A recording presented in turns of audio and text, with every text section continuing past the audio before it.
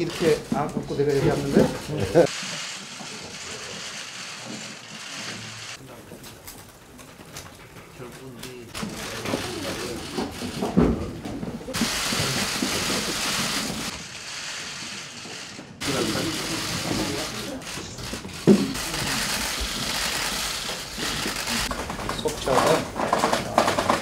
다른 건 아니고 법안 소위를 복수하고 한 달에 두 번을 가능한 한 꼭 열리게 하는 에,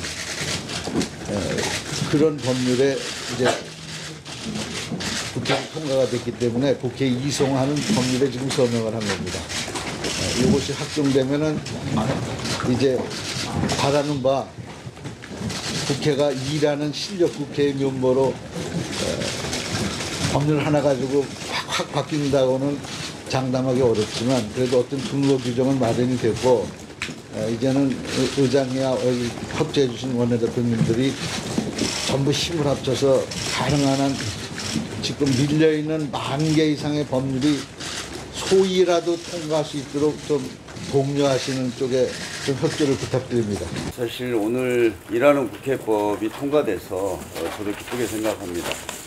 어, 지금 국회가 올해 들어서 어, 이러저러한 어, 일들이 많아서 전혀 어, 어떤 민생 입법이나 경제 활성화에 관한 여러 가지 입법들이 국회에서 다뤄지지 못하고 어, 통과되지 못하고 있습니다. 국회가 어, 해야 할 일을 하는 그런 국회가 되도록 최선을 다하겠습니다. 오늘 기어이 청와대가 두 분 장관에 대해서 임명하는 것으로 알고 있습니다. 저희가 일곱 명 후보 모두 부적격이라고 판단했지만 어, 국정에 그래도 협조하는 차원에서 세 명에 대해서는 부적격 의견을 달아서 장관 청문회 보고서를 채택해 드렸습니다.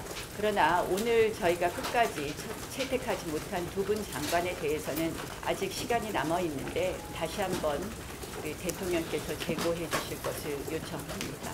4월 국회, 3월 국회에서 제대로 하지 못한 마무리 짓지 못한 탄력 근로제, 선택 근로제, 에, 최저임금 등의 노동개혁 문제를 신속하게 처리를 해야 되고 현장에서 혼선이 더 이상 지속되지 않도록 해야 될 책임이 국회에 있다는 말씀 드리고 특히 여야 간의 빗길을 저는 해야 된다고 생각합니다. 여러 가지 민생 입법 중에서도 이미 이 4월에 들어서서 근로시간 단축에 따라서 범법자가 될 수밖에 없는 어, 여러 업종들이 많이 있습니다. 어, 그런 분들에게 하루빨리 좀 편안하게 에, 사업을 하실 수 있도록 탄력 근로제를 비롯한 어, 우리 민생 입법 정말 이만큼은 여야 없이 머리를 맞대고 통과시켜야 한다고 말씀드립니다. 이 20대 국회에 대해서 국민들은 대단한 개혁에 대한 기대를 가졌던 게 사실입니다.